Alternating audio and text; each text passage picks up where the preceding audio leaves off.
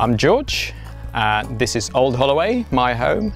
It was the first building in UK to use the EcoCocon straw wall system.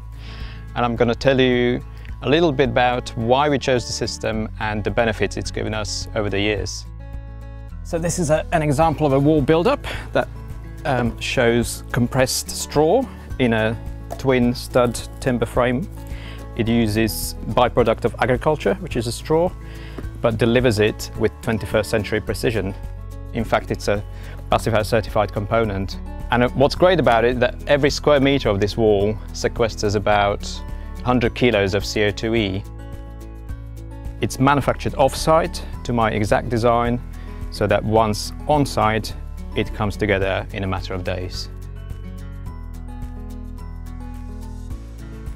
So we finished it off with clay plasters internally, which give it this beautiful texture. It's hard to explain the feel here. It's a combination of passive house and impact of natural materials. We're comfortable here all year round, whatever the weather's doing. Our internal temperatures range between 18 and 21 degrees.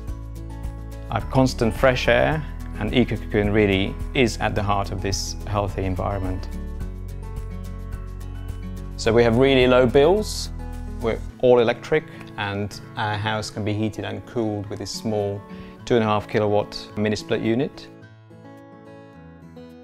What I love most is that we get all this every day, every year, and that's been like that for the past eight years.